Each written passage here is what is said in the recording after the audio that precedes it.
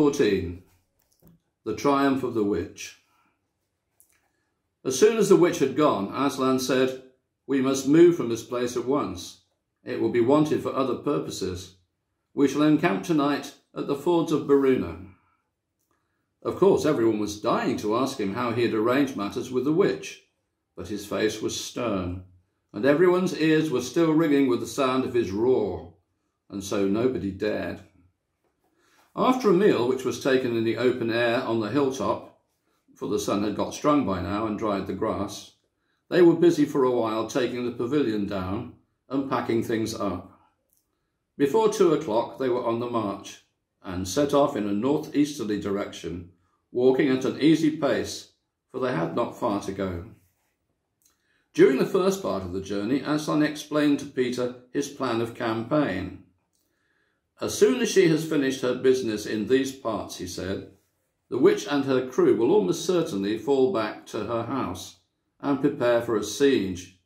You may or may not be able to cut her off and prevent her from reaching it. He then went on to outline two plans of battle, one for fighting the witch and her people in the wood, and another for assaulting her castle. And all the time he was advising Peter how to conduct the operation, saying things like, you must put your centaurs in such and such a place, or you must post scouts to see that she doesn't do so and so. Till at last Peter said, But you will be there yourself, Aslan. I can give you no promise of that, answered the lion. And he continued giving Peter his instructions. For the last part of the journey, it was Susan and Lucy who saw most of him. He did not talk very much and seemed to them to be sad. It was still afternoon when they came down to a place where the river valley had widened out, and the river was broad and shallow. This was the fords of Beruna, and Aslan gave orders to halt on this side of the water.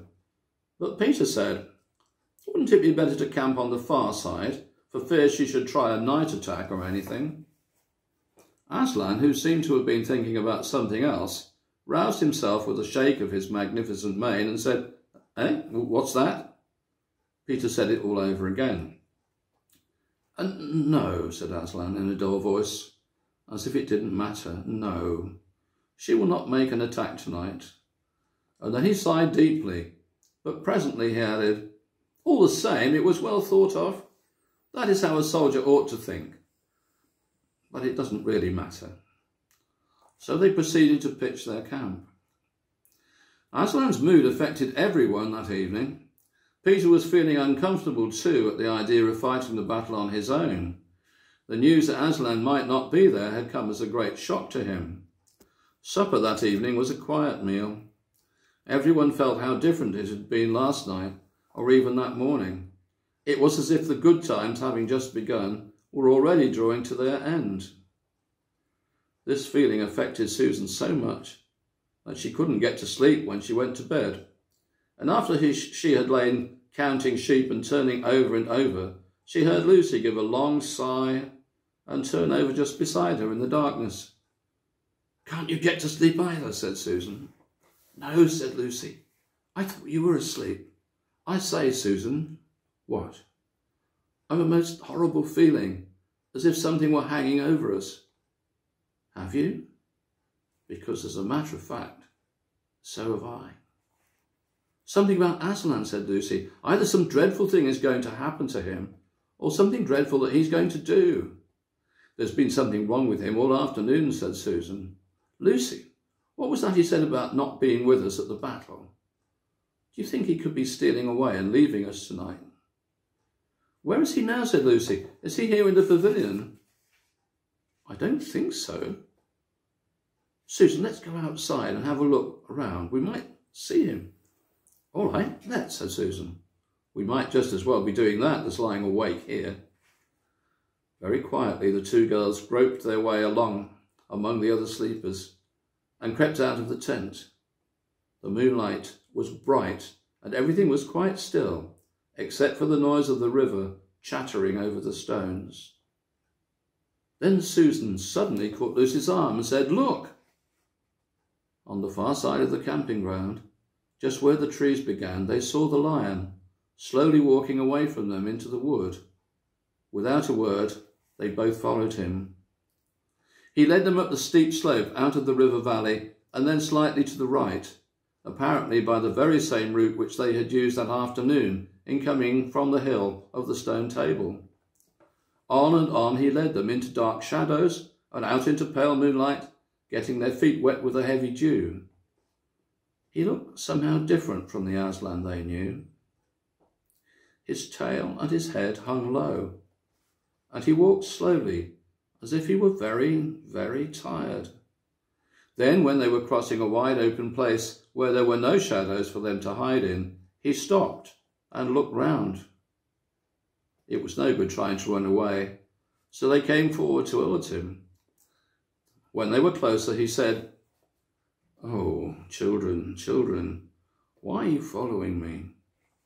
We couldn't sleep, said Lucy, and then felt sure that she need say no more, and that Aslan knew all that they had been thinking. Please, may we come with you, wherever you're going? asked Susan. Well, said Aslan, and seemed to be thinking. Then he said, I should be glad of company tonight. Yes, you may come, if you will promise to stop when I tell you, and after that leave me to go on alone. Oh, thank you, thank you. And we will, said the two girls. Forward they went again, and one of the girls walked on each side of the lion. But how slowly he walked, and his great royal head drooped so that his nose nearly touched the grass. Presently he stumbled and gave a low moan. Aslan, dear Aslan, said Lucy, what is wrong? Can't you tell us? Are you ill, dear Aslan? asked Susan. No, said Aslan, mm, sad and lonely. Lay your hands on my mane so that I can feel you are there, and let us walk like that. And so the girls did what they would never have dared to do without his permission. But what they had longed to do ever since they first saw him, buried their cold hands in the beautiful sea of fur and stroked it, and so doing walked with him. And presently they saw that they were going with him up the slope of the hill on which the stone table stood.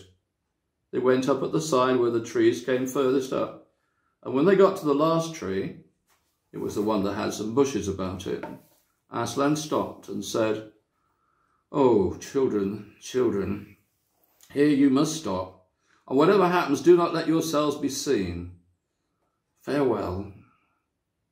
And both the girls cried bitterly, though they hardly knew why, and clung to the lion and kissed his mane and his nose and his paws and his great sad eyes.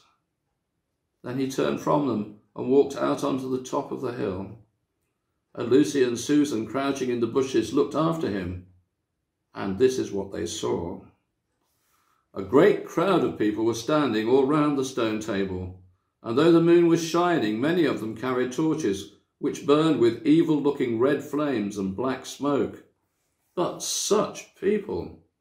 ogres with monstrous teeth, and wolves, and bull-headed men, spirits of evil trees and poisonous plants, and other creatures whom I won't describe, because if I did, the grown-ups would probably not let you read this book.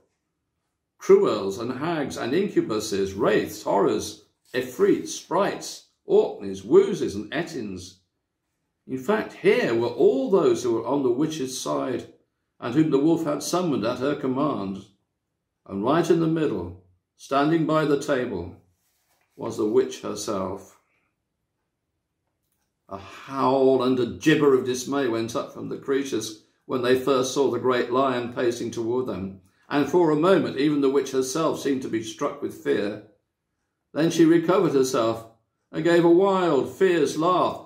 The fool, she cried, the fool has come. Bind him fast. Lucy and Susan held their breaths, waiting for Aslan's roar and his spring upon his enemies. But it never came. Four hags, grinning and leering, yet also at first hanging back and half afraid of what they had to do, had approached him. Bind him, I say, repeated the White Witch. The hags made a dart at him and shrieked with triumph when they found that he made no resistance at all.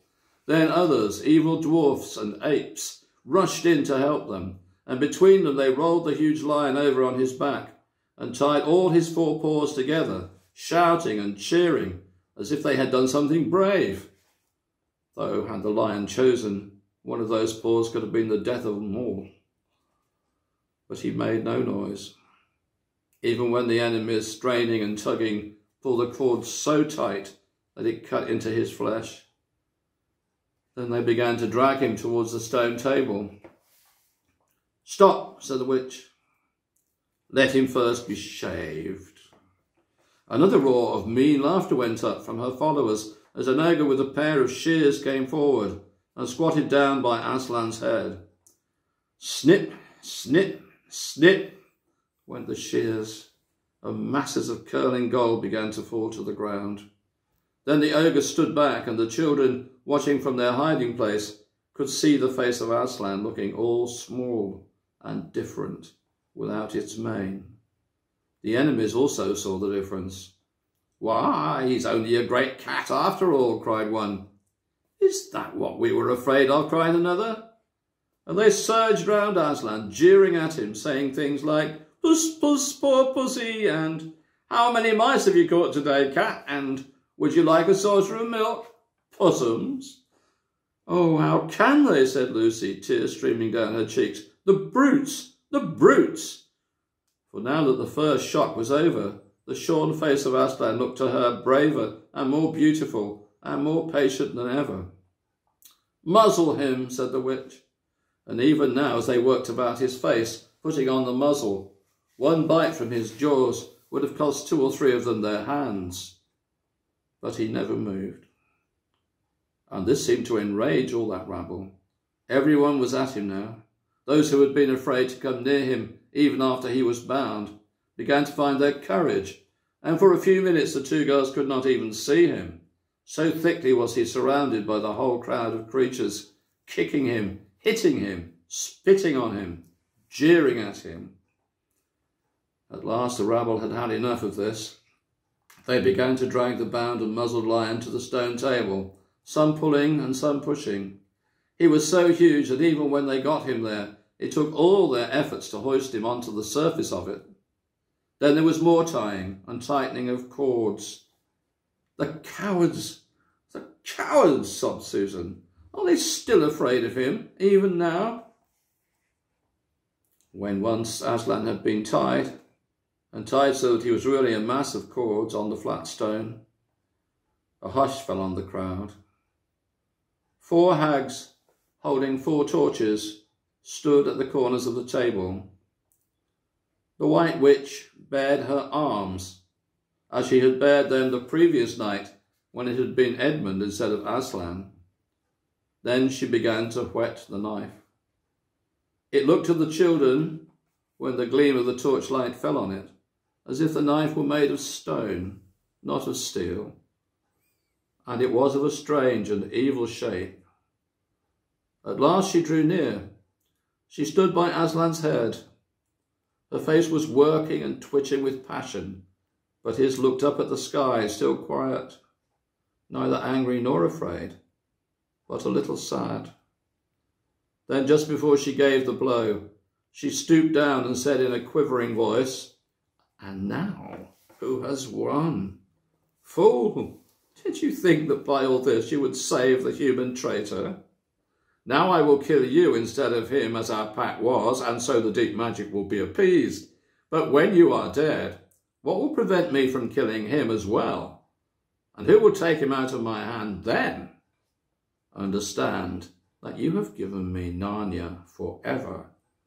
You have lost your own life, and you have not saved his. In that knowledge, despair and die. The children did not see the actual moment of the killing. They couldn't bear to look and had covered their eyes.